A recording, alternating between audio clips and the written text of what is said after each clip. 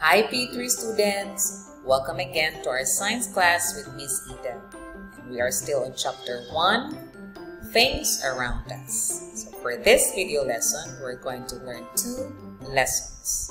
First is lesson A, How Things Are Grouped. Let's get our science students book and open it on pages 4 to 9 while watching this video. So come on, let's start. Our learning aim is to explain how things that are living that were once alive and that have never lived are different.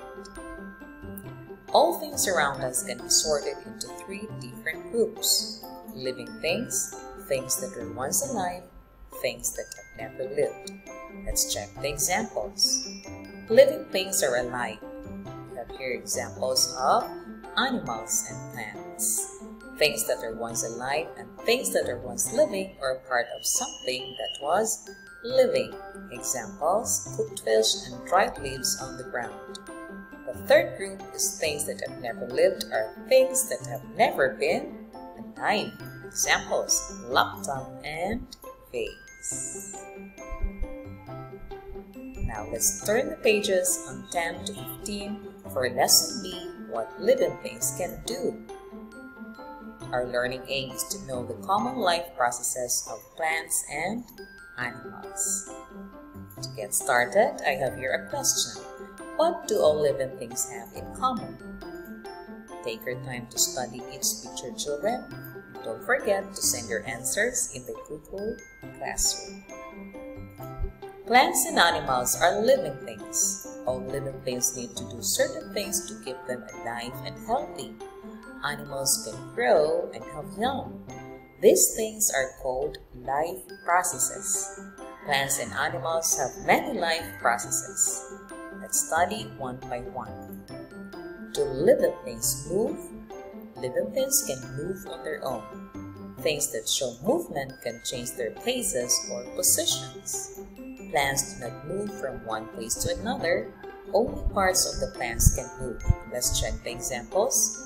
A vine climbs up a tree and the tomato plants move towards the light. What about the animals? Animals can move from one place to another. This allows them to find food or get away from danger. So you can see a cheetah runs fast.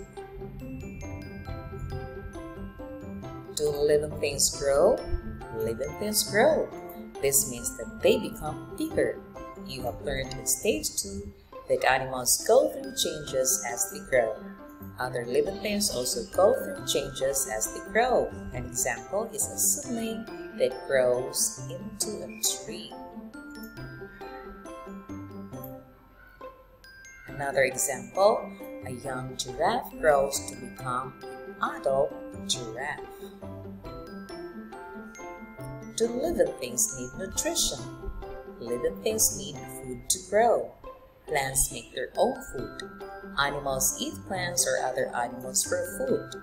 The process of taking in and using food is called nutrition. Examples, the plant uses sunlight to make its own food, while the rabbit cannot make its own food. Can living things reproduce? Living things have young. This is called reproduction. Many plants have seeds. Seeds will grow and become new plants. So an example is a mango tree reproduces by seeds. Can living things reproduce? Animals have young. Some animals like birds lay eggs. The eggs hatch into birds. Some animals give birth to their young. An example, a duck lay eggs and the ducklings will grow into adult ducks. So you can see here children, egg becomes a duckling, young duck and becomes an adult duck. And that ends our video lesson for today, children. Thanks for watching. Miss Ida will discuss more during our science class. Take care, everyone. Bye-bye.